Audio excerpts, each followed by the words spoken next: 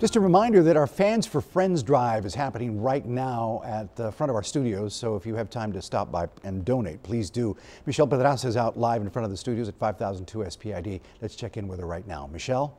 Hey Rudy, that's right. We are out here live in front of the KIII studios for the Fans for Friends. And here with me I have Captain Patrick Gessner with the Salvation Army. Go ahead, tell me what this is all about.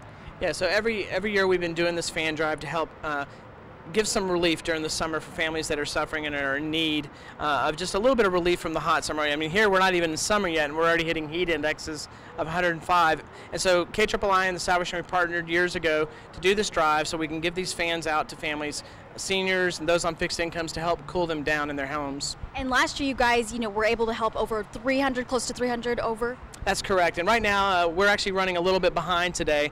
Uh, so, in fact, I think the cameraman's zooming over there. So, last year, the trailer was about two thirds full. And as you can see from the trailer right now, we are still struggling to get it full. So, people still have time to come by here to KIII Studios to either bring a fan or you can make a cash or a check donation to the Salvation Army. We'll be here till 6.30 at KIII on SPID. Yes, and you know, we were hearing stories about the people this is helping. You know, just one fan can go so a long way for just a, one family, you know. It can, yeah. We, in fact, we had one family in particular where a gentleman, uh, he was bedridden and he was stuck in his house, and he did not have air conditioning. And so for him, uh, also being a dialysis patient, he really needs to make sure he can keep cool. And so a fan was able to really help him last year. And so it's people like that and those on the fixed incomes, our seniors, that really need this help. Right, and it's just so easy, guys. You're just going to come to the front of our studios, purchase one of these fans from uh, Walmart, you know, yeah, Walmart, Home Depot, Target, Lowe's, HEB, uh, any place, and just uh, drop them off here at KIII Studios, and we'll take it up till 6:30.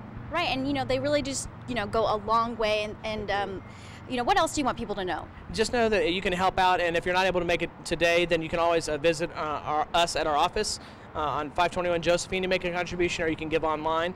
Uh, just we're very appreciative to KIII for partnering with us and making this happen. All right, and you know you just have to drive right in front of our studios again. We're going to be out here until 6:30.